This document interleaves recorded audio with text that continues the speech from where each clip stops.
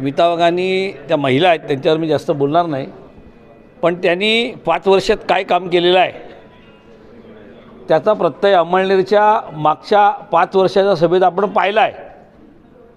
तिथे जी लाथाबुक्कीची हाणामारी झाली हेच त्यांच्या कार्याची पावती आहे. तर त्याच्यामुळे स्मिता वाघांनी काय काम केलं आणि उद्धवजींनी काम केलं काय काम केलं? स्मिता वाघांनी उद्धवजींच्यावर बोलण्याची उंची कधी गाठण्याचा प्रयत्न करू नये.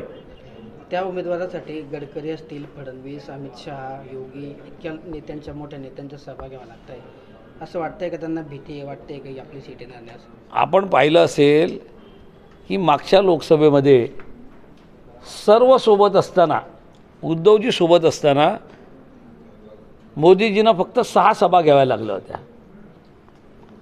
आणि आज सर्व एकत्र आहेत फक्त उद्धवजी बाजूला आहेत. त्यांना बावीस सभा घ्याव्या लागत आहेत अमित शहाच्या सुद्धा तेवढ्याच सभा होत आहेत. याचा अर्थ उद्धवजींचं काय नेतृत्व आहे हे त्यांना कळलं आहे त्याच्यामुळे त्यांना महाराष्ट्र सोडवत नाही. जळगावमध्ये पण तीच परिस्थिती असं वाटतं जळगाव काय महाराष्ट्राच्या बाहेर नाही त्याच्यामुळे तीच परिस्थिती जळगावात सुद्धा आहे.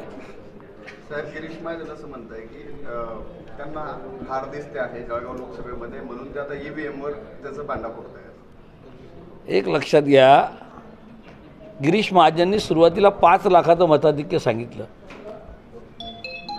हळूहळू कुठपर्यंत आले आपण पाहिलं आहे त्याच्यामुळे जर आम्हाला हार दिसली असती तर त्यांनी स्वतःच्या तोंडाने मताधिक्य कमी केलं नसतं. त्यांनी तर पाच लाखाच्या वरती जायला पाहतं ना. मी तर मला ज्या वेळेला विचारलं त्यांना विचार त्यांनी विचारलं होतं.